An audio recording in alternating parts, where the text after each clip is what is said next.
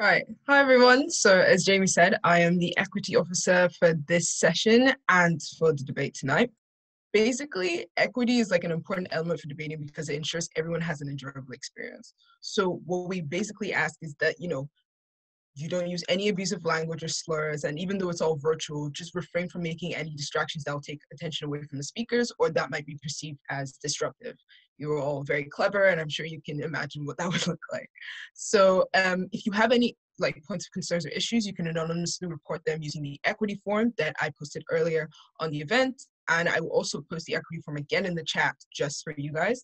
Um, you can also personally PM me if you'd rather not, and I will do my best to mediate and resolve any issues that you have. I hope tonight is going to be an exciting debate. It will be, and thank you, and I hope you enjoy tonight's debate. Thank you very much, Fian. Right, so we'll move on to the uh, speakers for tonight. Uh, oh, the equity form. Thank you, Fian.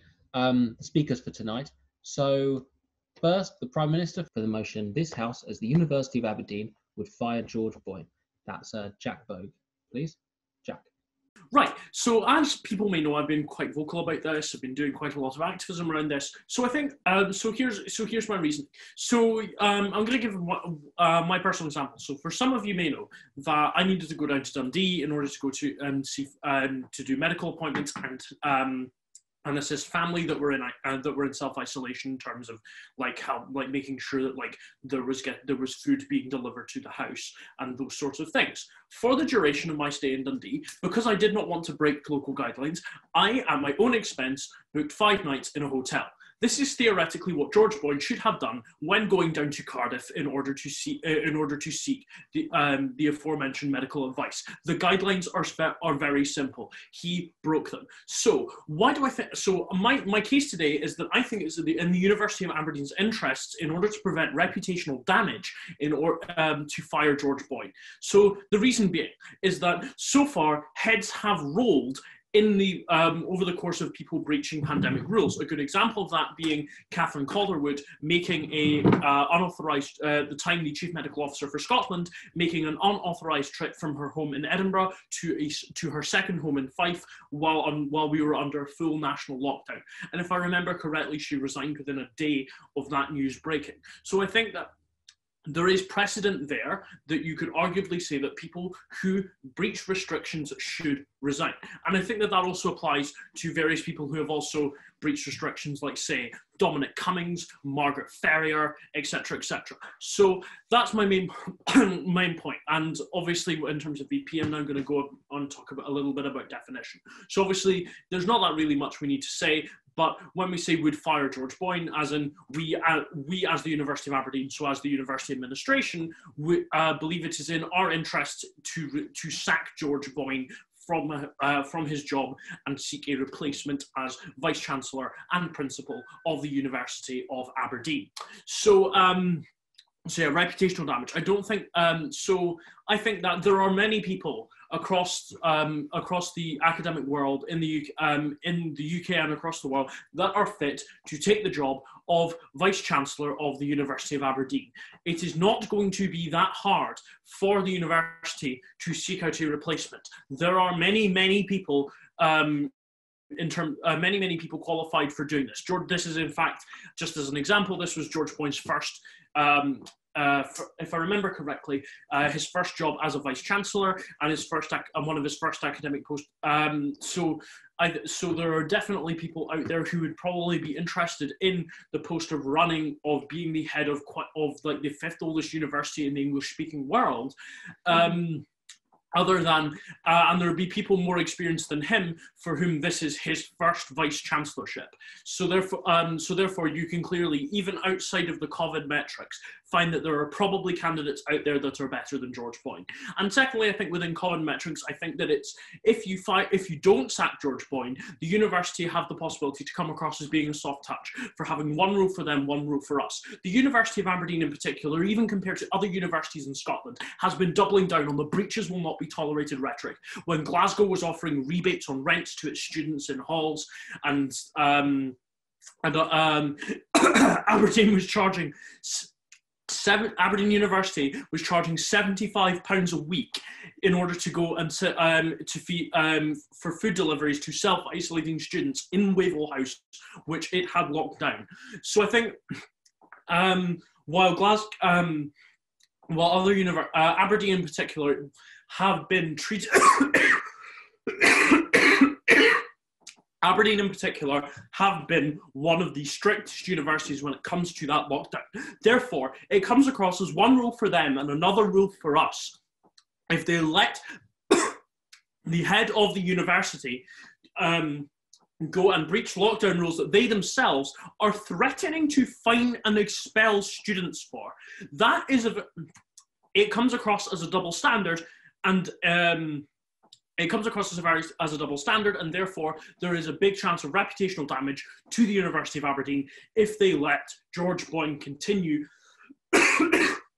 in his job um, in his post for much longer. Therefore, I think uh, therefore I think that it's in the University of Aberdeen's interest to fire George Boyne. Please propose. Thank you very much for that speech, Jack. Very well done. Now we move on to the leader of the opposition, uh, Zach. Is Zach here? Yes. Um, right, Zach. Yeah, hello. We'll give, you, we'll give you five minutes starting from now.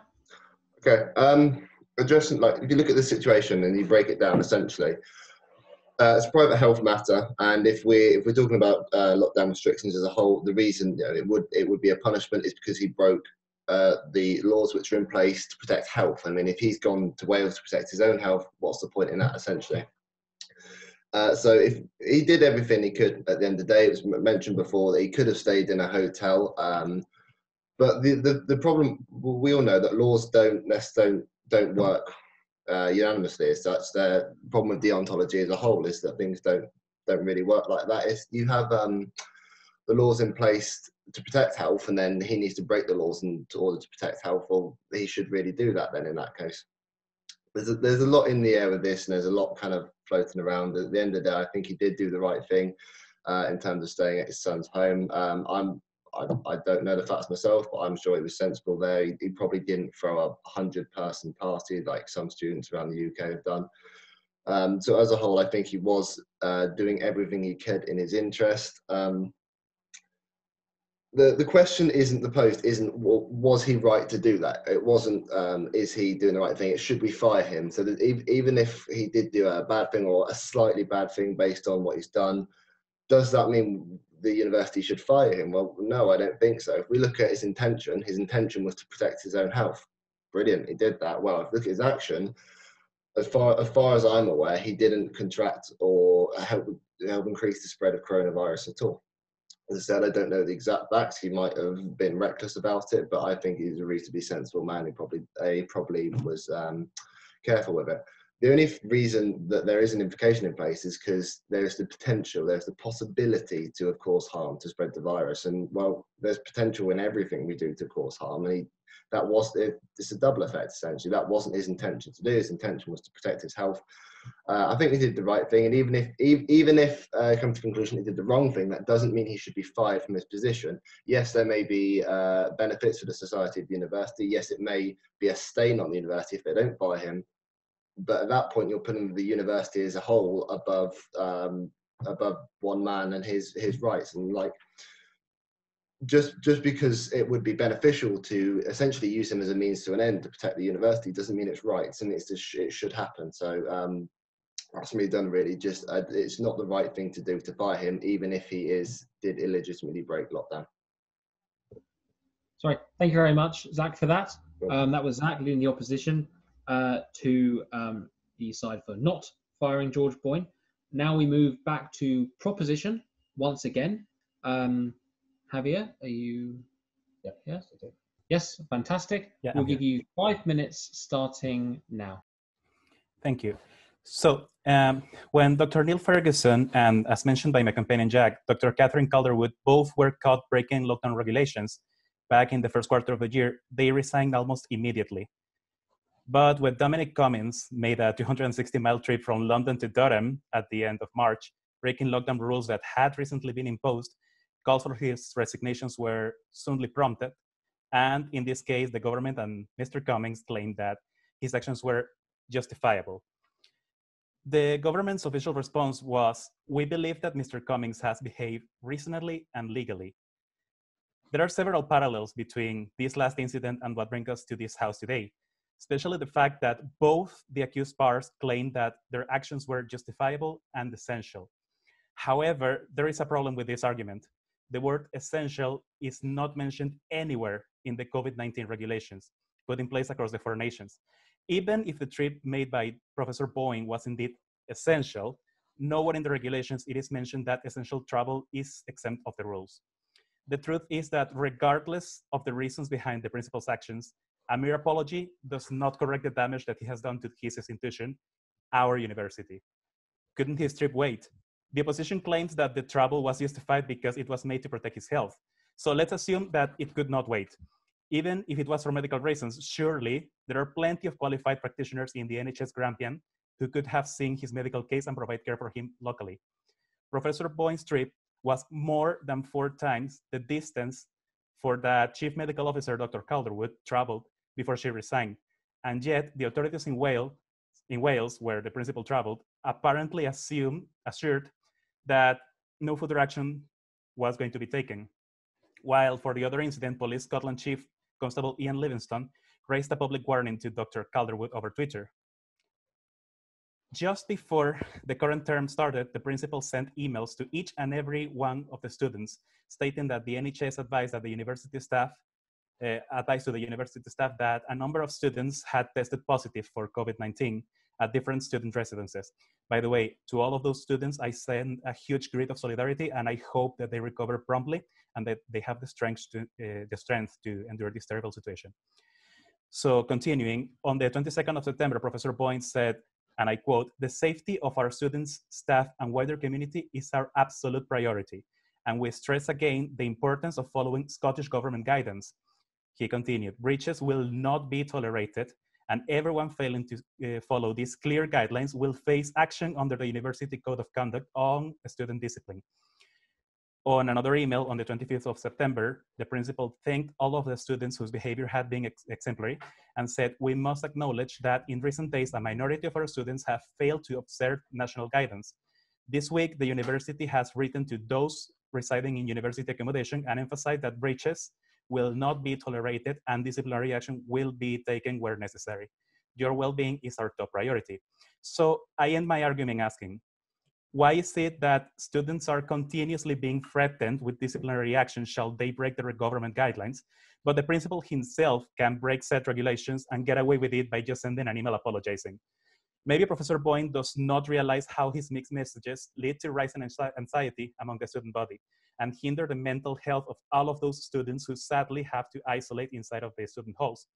The same students who are struggling to get basic supplies and are facing challenges in what, in what will be perhaps their most harsh academic year, without even being able to visit their families when December holiday comes. I quote student George Taylor, who speaking to the Press and Journal said, it is really one rule for us and another rule for them, the university director staff. We are disappointed and angry. As much as I feel bad for what happened to Professor Boyne and I feel bad for the situation that he's in, I believe that his behavior merits his resignation and shall he continue denying the severity of his actions, he should indeed be fired. Thank you. Thank you very much for that, Javier. Mm -hmm. um, now we move on to Robert, who is opposing the motion. Uh, Robert, yes, you're in front of your camera. Um, right, Robert, we'll give you five minutes starting from now.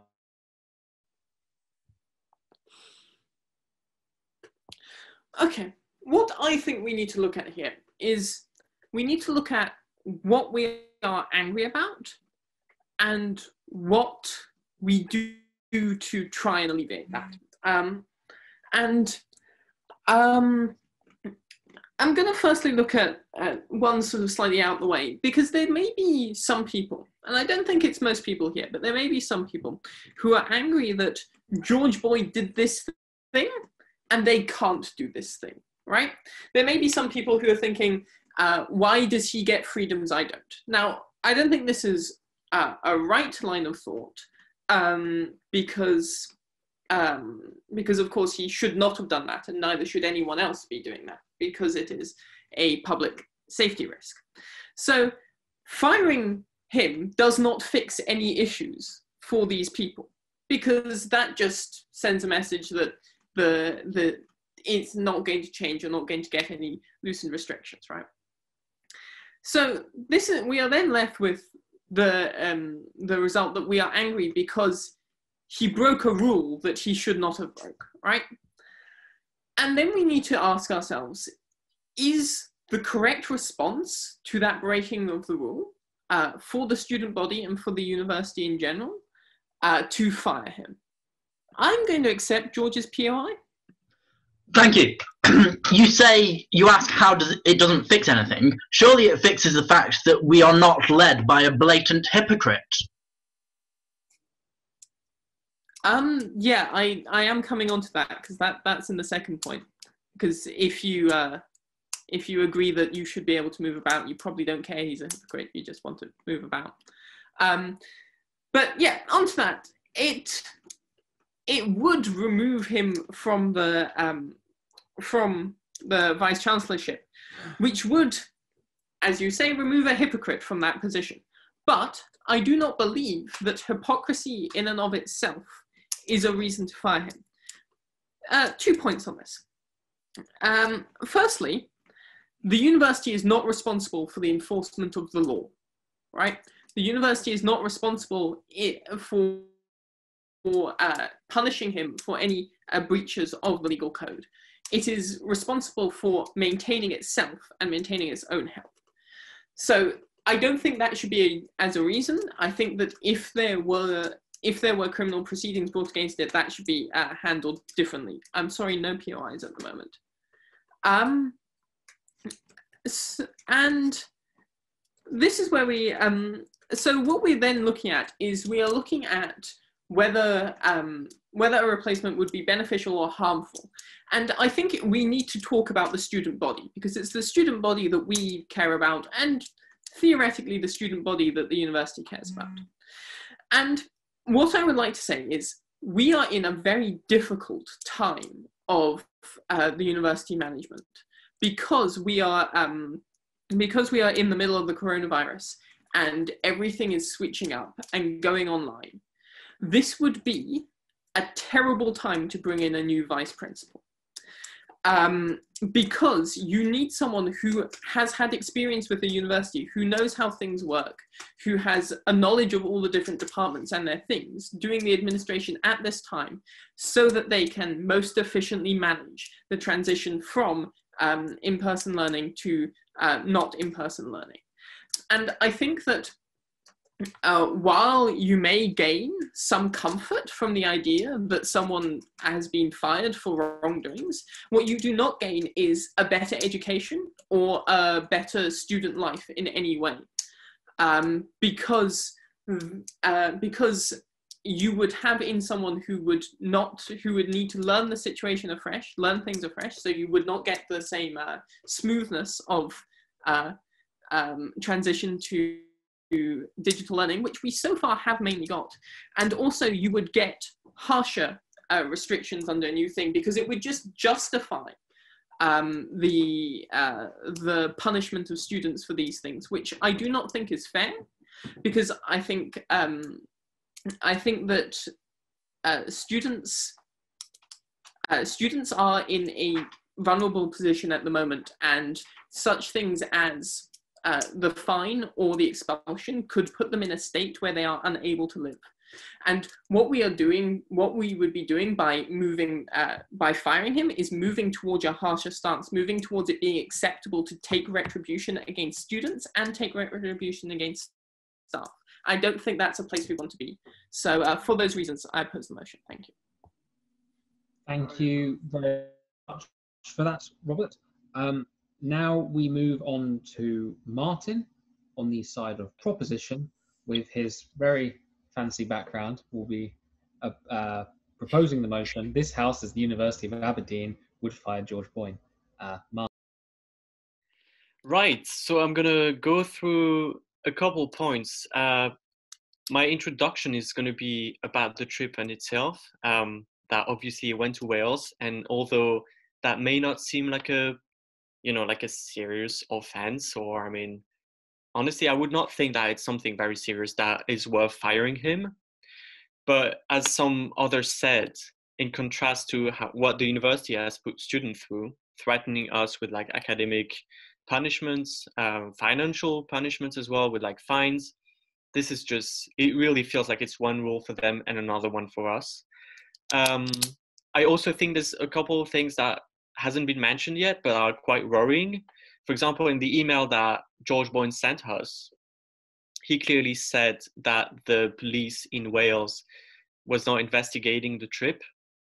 And it turns out a couple days after that that they were actually investigating, although they did not take any measure against it. It you know, we could still argue that George Boyne lied to students, which is quite a serious offense.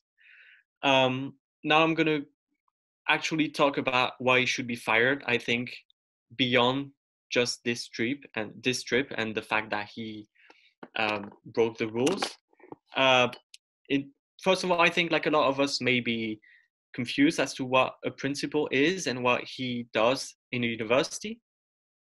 So I found this little definition uh, on the Edinburgh University website, sorry, which says that the principal carries authority and responsibility, uh, that he needs to believe in public service, he needs to be accountable for leading the university and its reputation, um, and is responsible for the management and the affairs of the university and maintain strong governance structures, etc. So I think what really uh, is important to remember here is that he needs to take responsibility and he is accountable for the image that he gives of the university and the fact that he broke coronavirus guidance is definitely breaking that or you know like going against that uh, these principles that he signed up to when he became principal um, but i think it's also beyond the fact that he broke coronavirus rules um, I think it's mostly what students had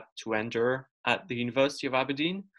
Um, as Jack said, other universities have handled the whole coronavirus situation much better than Aberdeen, although it was not perfect anywhere, obviously. But in Aberdeen, I mean, the fact the, the the email that the university sent us, uh, you know, threatening us if we were to break any rules, um, saying that they were in contact with our landlords, uh, and that they wanted the landlords to contact the university if we were to break rules, this is definitely something that a university shouldn't do. And I think George Boyne should take responsibility for that. We've also seen that people were uh, obviously locked in Wavell House and um, they were offered 75 pounds food package. Like this is definitely terrible as a university to do that. Although George Boyne may not be at the origin of these measures, he, as a principal, has to take responsibility for that, and he should be held accountable for these measures that have been put in place. Especially when we know that freshers usually don't necessarily know who to turn to if they've got worries, if they've got stuff that they need uh, advice for. For example, these food package, you could think that um, freshers may not necessarily question it and just accept it. When I was in uh, Adam Smith, I paid 50 pounds per week for food, which is mad now, but at the time I was just not questioning it. And I think that um, the university has used freshers, um, you know, for their own, um, sorry, for their own um, advantage. Um, and the fact that, yeah, they offered them these food packages is quite outrageous because students obviously don't know if they should turn to the university or to AUSA, but we know that the university and AUSA could be like quite complacent with what with the university's decisions. Um, and then obviously there's the shit mental health provisions. Uh, honestly, this this has not been great. A lot of students are complaining about that, and I think this is quite worrying as well. And I think George Boyne should take responsibility for that because he hasn't acted on any of these points and he broke, broke uh, lockdown rules and coronavirus guidance. And you know what? Just ask yourself the question: What if a student had done that? They would have probably been fined or fired, but they would have just not get away with it.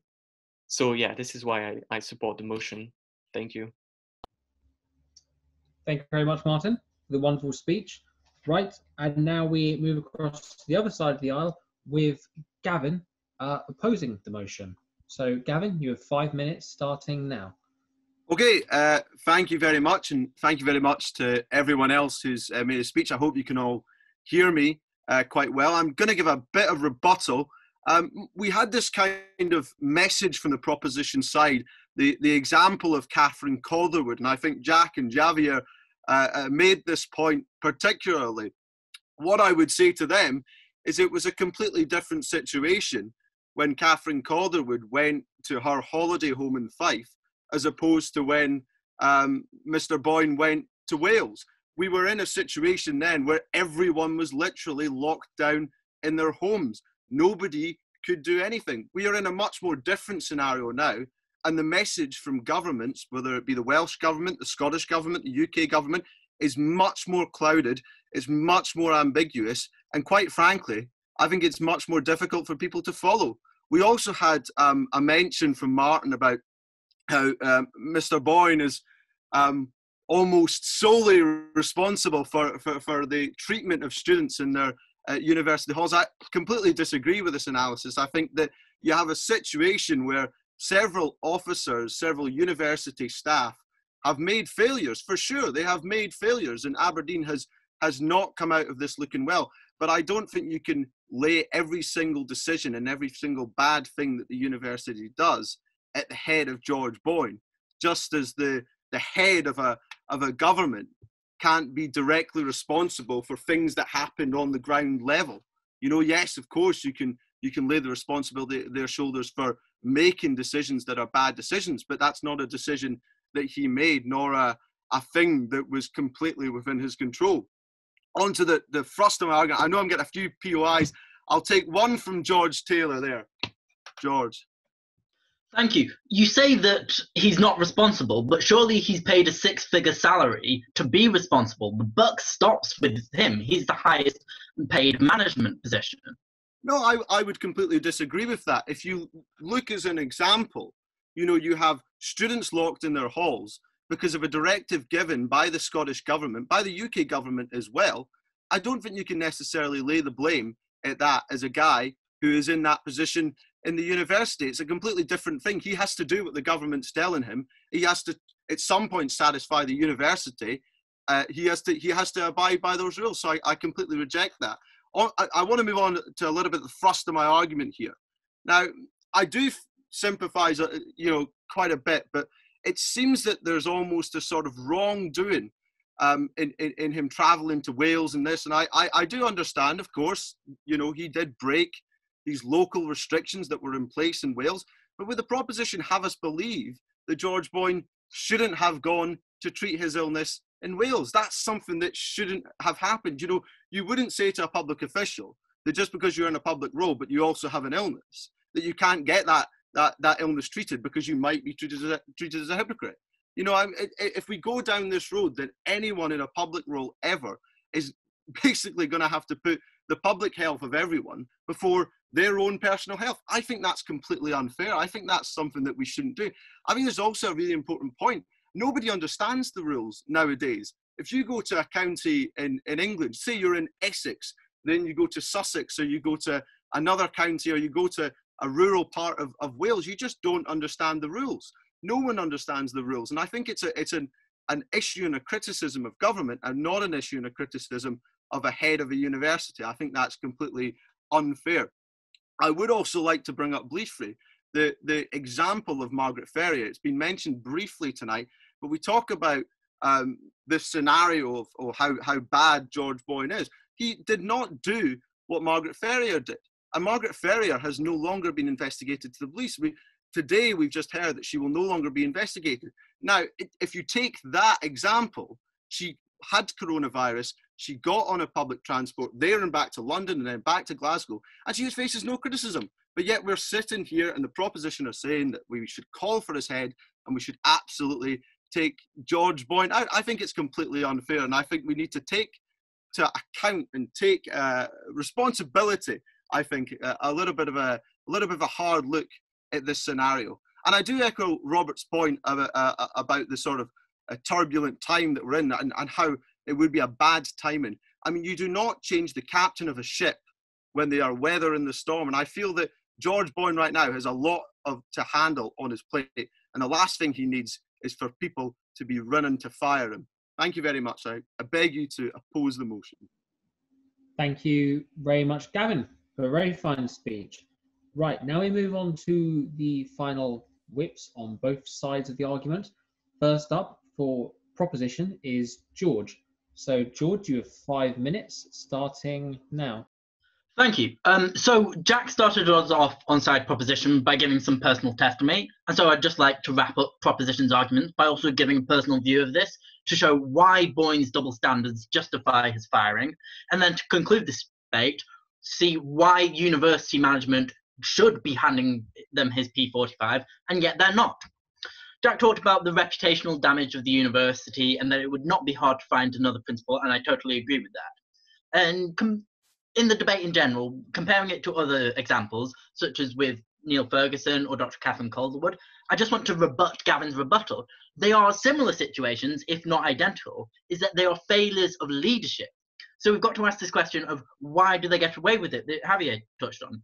Is it because the university management don't realize how their mixed messaging affects students, or do they realize and simply not care? We've talked about, oh, it's a private healthcare matter, but it, that fails to appreciate the rank hypocrisy of his act of going down to Wales. We cannot allow this matter to slide. We cannot allow the news cycle to move onwards and for Boyne to get away with it. And let's be honest, it is a private healthcare matter. He thinks he's better than us. He thinks he can go all the way to Wales for private healthcare. He thinks his extortionate salary allows him to break the rules, whilst we students are not.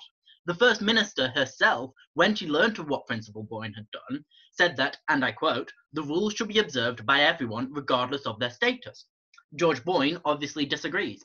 If he had been an honourable man, he would have had the dignity to hand in his resignation when he was caught out. But instead, he thinks he's done no wrong. He thinks he is in the right despite that. And that is why we as the university must fire him.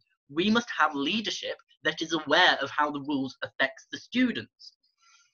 If we want to just compare it to Dominic Cummings and the way he's behaved during lockdown, it's again the very same thing. His wealth and power allows him to get away with stuff. It allows him to get away with breaking lockdown. It allows him to get away without paying council tax on the very second home that he broke lockdown to go to. Coming back to the point about hypocrisy, I have to disagree with Robert here. For leadership, whilst we do not ask our leaders, leaders to be perfect, but we should ask some semblance of empathy, compassion, and justice for our leaders. Dante tells us that hypocrites are the lowest of the low, and as such, the lowest circle of hell is reserved for them. The, then again, Robert says university is not responsible for the law. But I ask, why are the universities so interested in trying to enforce this law against students then? Why are they threatening expulsion and suspension against us if we break it? Why are they contacting private landlords to check up on us? Why are they monitoring the regional newspapers to see whether students speak out on their incompetent handling of 16,000 undergraduates' education. So, really, to conclude this debate and to show why George Boyne does deserve his P45, I want to shine a light on how cowardly and perfidious current university management have been regarding the issue. I and a few others, some of whom are in this house, managed to arrange an open meeting with a representative of the university management, the Vice Principal Ruth Taylor. Appreciating that there was a range of student issues, we reached out to other societies as appropriate, and we were planning to discuss the impact of isolation on mental health for students, how the university can make its messaging clearer for students, and the impact of lockdown on courses and teaching. Um, when we planned to do this, which was on Tuesday the 6th, and then on Monday the 5th, this story broke about Principal Boyne, so we added a fourth point to talk about in our discussion the hypocrisy and whether there would be any consequences of from Principal Boyne's jolly down to the Vale of Glamorgan. That ve- the very next day, the university management, perfidious and cowardly, they chose to cancel this meeting with myself and other members of this house and saying that on reflection, it was not the necessary thing to do. So to sum up, we really need to ask whether our university leadership should be uh, conscious of how this lockdown and the restrictions that they have threatened expulsion if we break, how these restrictions are affecting students. If they don't appreciate that, they are obviously lacking in justice and passion, which propositions say are very much qualities needed in a leader. From my own personal perspective, I have not been able to go home since last Christmas. I may not be able to go home uh, this Christmas either. That is only half the way distance down to South Wales, going down to Manchester. So I think it really is a case of one rule for them and one rule for the others, as I said to the press and journal. So for all these reasons and for the reasons my comrades have said, I beg you to propose this motion and to fire George Boyne. Thank you very much, George, for a very passionate speech. Right, we'll move on to the final floor speech, uh, table speech of the night before we go on to the floor speeches. So, the final speech of the night is from Ethan. Um, right. Can you hear me? The, yes, yes, yeah. we'll give you five minutes starting now. Okay, um, good evening and thank you all for being here. So, just a few rebuttals I'd like to make. Firstly, on the Wavell House, I believe two proposition speakers have brought up a, a, charge of 75. That policy has in fact been changed. Uh, I know that myself. I'm, I'm, I'm currently in isolation in, in lockdown. And um, uh, indeed, two of my flatmates yesterday, you, you fill out a, uh, an absence for COVID form, and the university gives you two big boxes of food with just about everything. So, just a, a quick factual rebuttal there that that policy has been changed. Um, Another rebuttal I'd like to make is in terms of the comparison with student breaches. Clearly, the comparison with student breaches, where you have seen larger crowds, to say the very least, and indeed, where the police have been called several times to crowds of hundreds, is you know crowds of hundreds of students, um, you know, New Carnegie and the police being called, is completely incomparable with you know um, with uh, George Boyne uh, going to Wales and uh, in, another rebuttal I'd like to make is in terms of the measures that have been brought in. Um, George Boyne is not the dictator of of measures. Uh, no, I am sorry, I'm not taking that now. Um, maybe the end if I've got time. Um, so I just want to make my points fast. um, so he's not a dictator of measures. In fact, there's there's about ten senior management in terms of a number of vice principals, directors, and so on, and you can find this on the university website. So uh, the way people have been talking about it, George Boyne as a kind of dictator, you know, sort of just handing out decrees of, you know, restrictions on students. As I said, he's clearly not responsible. There's 10 senior management decisions, and decisions would have taken been would have been taken collectively.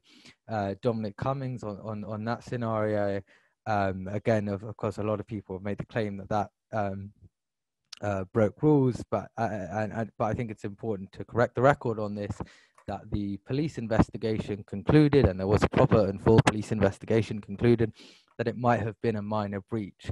Um, but it's talked about as this, you know, major completely broke the rules. As I said, the police conclusion was it might have been a minor breach.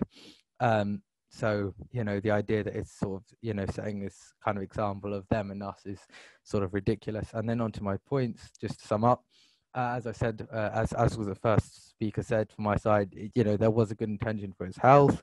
Um, even if it helps the uni, that doesn't make it right. Clearly, you know, clearly, just saying it helps the reputation doesn't mean it's the right thing to do, and that's clearly one of the arguments coming from the uh, proposition. Um, obviously, as, as has been brought up, it's a bad time for a new leader uh, or, or, a new a new vice principal, I should say. You want someone who's familiar, and indeed, George Boyne uh, actually studied at the university when he was. Uh, I know, I know, he got. I think he was a double graduate, I believe he was from the University of Aberdeen. So he's someone with a lot of experience, uh, particularly with the University of Aberdeen, and therefore eminently qualified in a way that you could argue um, individuals who went to other universities are not. Um, and and the final point I'd like to make because I, I think this has been missing the whole debate and it's really honestly it's really sort of ticked me off is that people have been talking about it like that that you know people like all the speakers have been talking about how he broke the rules. What's very clear and this is not my view this is the conclusion of the police view was uh, and i quote his actions were reasonable and legitimate according to i believe it was the south wales police. Uh, if you'll just give me a minute to check. Um, got the uh, terribly sorry. Um, yeah, according to South Wales Police, I am pleased to, uh, just to give the statement. I am pleased that it has been confirmed by South Wales Police that my actions have been reasonable and legitimate. Therefore, it's not a debate. It's not a matter of, oh, he broke the rules, he broke the rules, them and us, them and us. It's a very clear fact that, you know, according to the police investigation, that he has been found effectively. He's been found innocent. He's been cleared of charges. Um, and so he hasn't broken the rules. This whole debate we've been talking, oh, he's broken the rules, he's broken the rules, he's broken the rules. He hasn't broken the rules. That's according to the police investigation. Um, and I think people, yeah, to my great dismay, I found that people were sort of ignoring that you know, just saying, uh, now, of course, that doesn't make it right what he did. I'm not saying it was right. And indeed, the same has been coming from other speakers on my side. We're not saying it was right. But was it against the rules? No, it wasn't against the rules, as the South Wales police investigation has concluded. Um, thank you for your time, and I beg you to uh, oppose the motion. Thank you very much, Ethan, for a great speech to finish off the table speakers for the night. Um, now we move on to floor speakers. Now, the way this works is a three minute speech um, on the side of proposition, opposition, or abstention to the motion. Abstention being you know either for and against, or you just want to give a general comment about the state of the debate or a point that maybe someone has missed out in the actual table debate. Right, so I will message you when you have a minute left and 10 seconds left for these speeches, and we'll start with the side proposition for this house as the University of Aberdeen would fire George Boyne. So write in the side chat or raise your hand. I, have seen Maxwell. Um, for this, right, Maxwell, do you want to give a three minute speech starting? Um, first, I would like to point out I am the third person who lives in this flat. There's three of us. We're not just one person making three speeches. Um, so I also want to talk about like what seems to have come up here is that the police have cleared um, several people on these charges. Uh, because that basically shows us that the charges are essentially toothless. These are two fairly clear um, violations of the guidelines, both which got into the news in, in, in George Boyne's case, the Welsh news, implying that there is genuinely a case here. It's not just some random stuff. And then they were both cleared by the police. What does this tell us? This tells us that the COVID restrictions are essentially toothless. There's very little people can do uh, that the police can do that are going to do with COVID restrictions.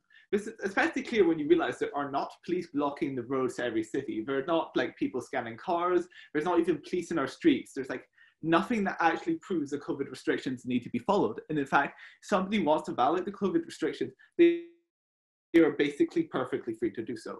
However, a lot of people don't because a lot two reasons. A lot of people principally don't because you know they don't want to infect people, and a lot of people don't because they re- don't realize that they can just violate it. Um, so, what is the problem with people like George Boyne um, violating this? It shows us that the COVID restrictions are essentially to us, toothless. It shows us that when major people power go um, go in and have a lot of media attention on them, and then the police, like the people who are supposed to be enforcing these guidelines, take a look and should say that they're completely um, like they're completely fine. It shows us that then for most ordinary people that it, that seems to be the case for them too. And because of they've already illustrated that the police aren't enforcing measures, and even though they might not be scared of you know um, saying somebody that people who are not in power doing things if they can't catch you they're not going to prosecute you. What we have is essentially people allows a lot more people especially students to realize they don't have to follow these guidelines. I think this is a problem because the guidelines as a whole for a general population do in fact uh, reduce covid spread. They do in fact have reasons for existing. They're not just arbitrary guidelines designed to oppress us. Like people um, they might be like misinterpreted sometimes like mis they might not be as effective as they could be, but they still exist and they still help. But if you have people who realize that because of the blatant abuses of people in power, who also know that the system doesn't seem to be properly working, you have um, essentially just allowing anybody to do free reign. Um, and I think that's just like principle that's just bad. I think that you shouldn't have people in power um, being hypocritical because this hypocritical allows a, a, sets an example for everybody else, um, especially when you have major news stories about this. For example, in the Welsh media, it reaches a lot of people. A lot of people realize every time somebody isn't doesn't have a consequence for this, somebody is not um, responded to, there's no consequences for these actions, you have another problem. You have another situation in which the rules will be broken by a large portion of people. This will stop the virus from going away, and this is a problem for all of us. Thank you. Thank you very much, Maxwell, for the first floor speech of tonight. Um, we now move on to the opposition floor speech. So if anybody wants to oppose the motion, this House, as the University of Aberdeen, would fire George Boyne. Could they please raise their hands, message in the chat, or uh, turn their camera on now? No one? Oh, Derek? Oh, yeah. Yep. Thanks, Derek. So if you turn your microphone and camera on, and we'll give you three minutes, starting whenever you're ready. Okay. Um, so I think there's a, problem here with the guidelines because it's not really designed to cater to individual situations. Um, it seems to be a sort of one size fits all approach. And that's been my criticism of it from the start because it doesn't take into account that Professor George Boyne uh, was fearing for his own health by staying overnight with his brother in Wales and that he needed to see a certain type of medical specialist there.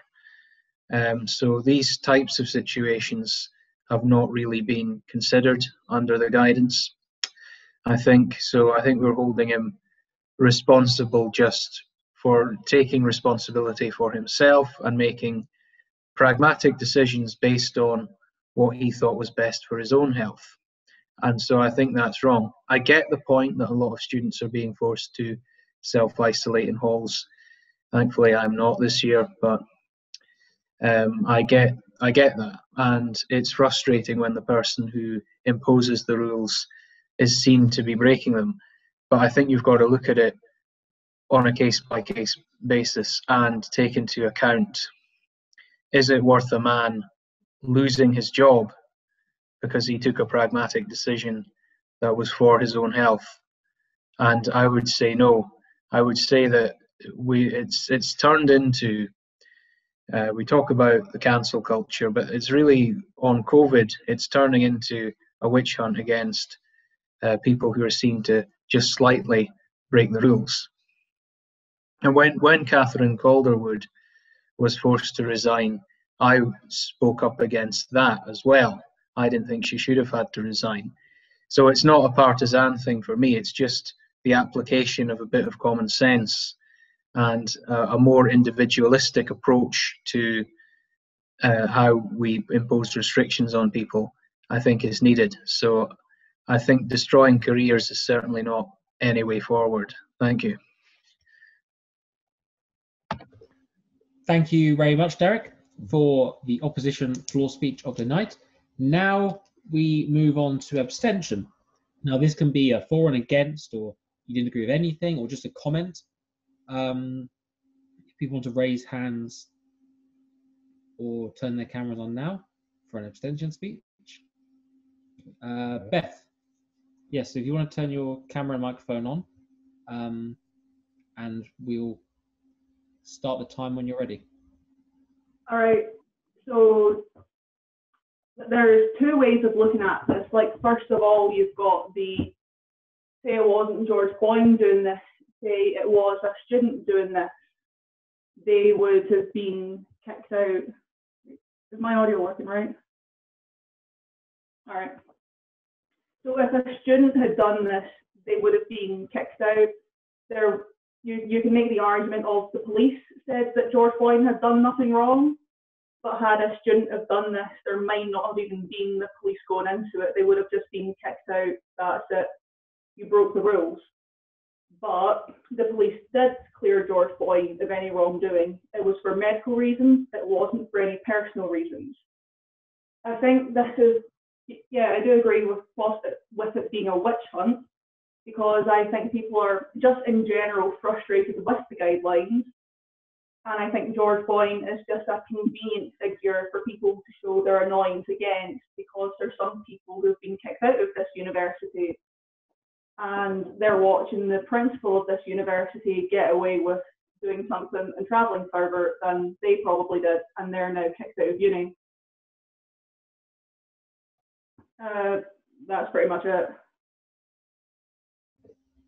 Right. Thank you very much, Beth, for that speech for the abstention side of the debate. Now we move back again to proposition. Um, so is there anybody, uh, Gabby. So you turn your mic and camera on, and we will uh, start the time when you're ready. Uh, okay, thank you. So yeah, what I would like to say is, uh, first of all, when a person is in a public position, it, it should be uh, kind of like common sense that it uh, the person is going to get scrutinized for their public actions. So this time, because George Boyne, he knew that he was in a position like that. He he shouldn't have taken that trip, or at least made uh, proper accommodations, like uh, staying uh, uh, booked a hotel, because he is a public person after all. Second of all, like the response from the authorities also had shown that uh, police are in, on the side of those who are in power. So and uh, they are going to take a side of those in power and not the side of the people. Uh, There's a second point, and a third point is just it is a common sense if a uh, public person does something like that should uh, uh, resign because uh, maybe he didn't have any symptoms or he wasn't a carrier of a disease, but still he could have possibly have infected himself or have infected others and putting everyone at, at risk. It, it's not about only about students, but it's also public health concern. Thank you. Thank you very much, Gabby, for that. Uh, now we move on to another opposition floor speech. Uh, is that Dasha? Yeah, okay. So Dasha will give you three minutes starting when you're ready. Okay, so um, we have been talking a lot about what are the regulations imposed in the university and how students have different uh, regulations than the teachers as it appears because of this situation. However, as far as I know, and I have done some research regarding that, there hasn't been a single student suspended because of breaching COVID regulations. We had parties on campus happening where a lot of people in the student um, um, homes were coming together, breaching those regulations where they were spread, spreading the virus. They were not suspended. Suspension and expulsion are the final result if there are continuous uh, breaches of the guidelines, if there are repeated offenses. The first, um uh, what's it called? The English word, sorry. So the first fine is just 250 pounds that you have to pay. So what has happened in this situation is George Boyne did breach, according to many people, certain guidelines, although he was found not guilty. It is, however, his first offense. So, in what world where the students, after partying on campus, were not suspended, are protesting for the principal to be uh, fired, even though it was his first offense? We can have some form of um, disciplinary action against him. He can face some form of consequences. However, firing him from his position and disrupting the already quite unstable situation that we have in the university because of how they handle the crisis is not a solution. And it is too much of a measure in this situation. So, if we can have some patience towards the students because everyone's going through trying times and because everyone is confused. And as it has been mentioned by gavin i believe is that the guidelines are just unclear. We don't know what is happening. I cannot go over to my best friend to have a tea with her in her flat. However for some reason i can meet with her on campus in a starbucks where i don't wear a mask. So how, when the guidelines are unclear, when the guidelines request completely opposing things from people, we can say that we need to fire George Boyne from the university after his first offense. And that's why I believe that this is too much of a measure and I beg to oppose. Thank you very much, Dasha. Right, now we move on to another abstention speech for the night. Um, Sophie, raise a hand. So, okay, Sophie, um, we'll give you a three-minute timer when you are. No, sorry, I just wanted to clap for Daphne. Oh, okay, right. Uh, sorry. Okay, right. So we're still on abstention for this motion. Um, so anyone want to message the chat or raise a hand, speak in abstention? If not, we will begin again and we'll go back to proposition. So, no. Okay. Right, we'll move back to uh, proposition. So anybody want to give a three-minute speech um, on the motion, this House, as the University of Aberdeen, would fire George Boyne?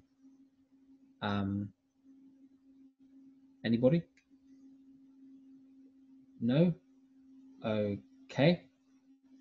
Anybody want to oppose the motion? Another floor speech? Oh, no one? Okay. Or anyone want to do another abstention?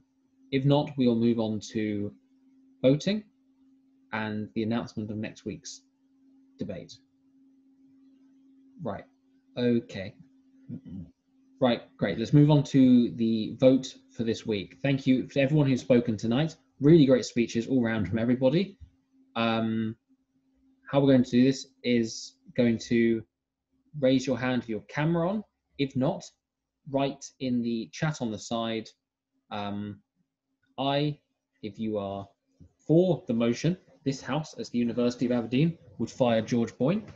Um, so we'll, and we'll do nay and stay silent if you are on abstention, you are neither for or against. So this house as the University of Aberdeen would fire George Boyne. Could everyone please say aye if you agree with the motion or raise a hand? So we've got, uh, you guys account. I can five. I can five as well. Six, seven, Six, Daniel doesn't have camera on. Uh, eight, eight. eight. Thank you very much to everybody. Uh, that is eight for the motion. And now against the motion, everybody raise your hand if you're against it. Two. So we've got two, in the chat. for the Sophie Five, Five. So far. Five. Uh, Derek, six there as well. Right, that is eight to six. Thank you very much, everybody, for tonight's debate. Everybody incredibly well spoken, really well done. Um, right now, shall we announce next week's debate? Right. Next week's motion will be this House supports the processing of refugees overseas. The motion for next week is again this House supports the processing of refugees overseas. It is a collab with Lawyers Without Borders and Amnesty at Aberdeen. Um, thank you to both societies for the willingness to collaborate, and we'll see you then. Thank you very much. Yes, it's been a really good debate all round, so thank you very much for coming, and we'll see you all next week. Thank you. Thanks.